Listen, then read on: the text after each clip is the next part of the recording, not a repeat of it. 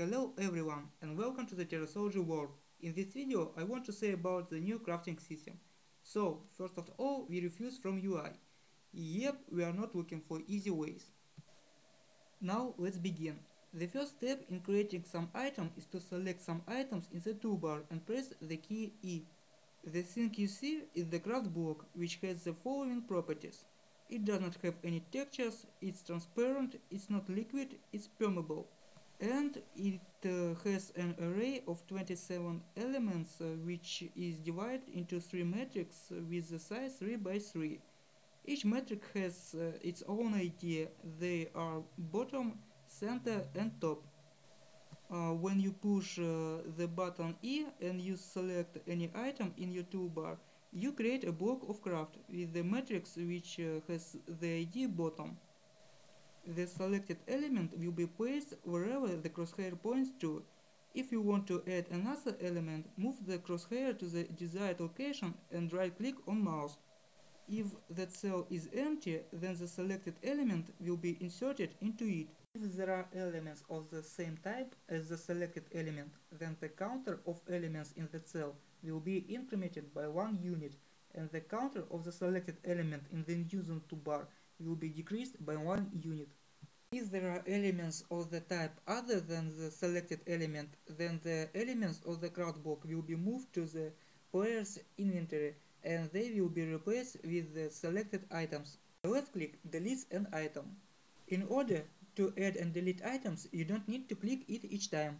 Simply keep the mouse button pressed. As you see, life becomes easier, but not completely. I don't like the speed of adding or removing the elements in the crafting block. That's why I added the ability to the accelerate or decelerate of the addition or removal items. In order to do that, you need to keep the mouse button pressed and drag mouse up or down, but it's slowly. There is another way. Press and hold the key Q and you will see gradations around the crosshair. One graduation is one-sixth of the total number of the elements in the cell. That is, the three graduations complete 50% of the total number of the elements in that cell. During the development of the craft system, I faced one more difficulty. During the process of crafting, I always had to open the inventory window in order to replace the needed items in the toolbar. The solution was simple, a mini inventory. For the quick access to the mini inventory, press and hold the key Shift and rotate the mouse's wheel. As the result, you will see that the cells of the toolbar are changing, but the first 10 elements of the toolbar will go back when the craft element is not be the target of the camera.